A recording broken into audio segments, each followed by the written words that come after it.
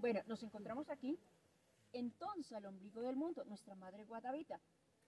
Recordemos que yo soy la contadora de historias ancestrales, Clara Chautá, y ustedes me verán allá en mi canal de YouTube. Pero hoy hicimos una ruta del alma aquí en la laguna del cacique Guatavita. Y venimos con varias mujeres, pero hoy quiero presentarles a estas dos hermosas mujeres que hablan de la madre tierra, que tienen hermanamiento. Y quisiera que ustedes nos dieran un mensaje de cómo les pareció este lugar, qué tiene que la gente venir a hacer aquí y por supuesto dónde las podemos encontrar. Carito. Eso cuando uno se pone de acuerdo. Sí, sí. Bienvenidísimos a un lugar maravilloso donde de verdad no solo vienes a caminar y a conectar con la naturaleza, sino que te vas a llevar el despertar de las memorias ancestrales en ti.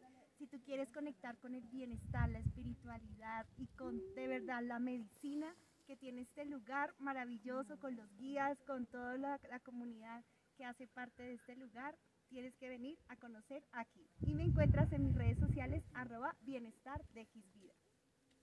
Marina, les voy a contar una anécdota. Marina y yo, ella es española, yo soy muisca, pero el destino y los abuelos nos enviaron para encontrarnos. Por eso venimos haciendo una caminata a la ruta del alma. Pero qué mejor que Marina nos cuente.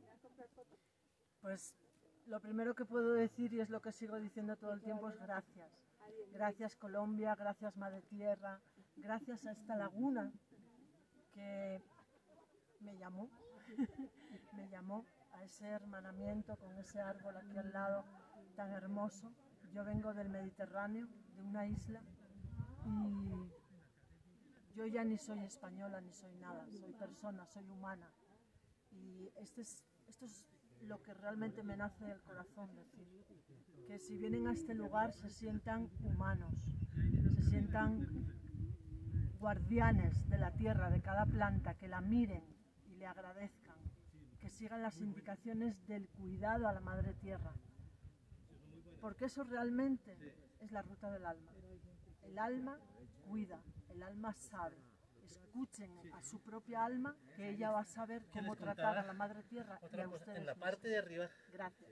Marina, Mis redes sociales son Escuela Modo. Alma un tipo en Instagram y ahí me encuentran. Muy cualquier bonita. cosa escríbanme. Pero fue porque la misma... Gracias. Bueno, y a mí me encuentran como la contadora de historias ancestrales Clara sí, Sigan, vengan a la laguna del cacique Guatavita, que está en el municipio de Sesquilé, escuchen nuestras historias, y- gusta. pero sobre todo, entren con respeto y conéctense con el territorio, que eso es lo más especial que debemos hacer en este sitio. Este sitio no se viene a estudiar, a estudiar este sitio no, se viene a aprender de la madre tierra, así que nada, muchas gracias.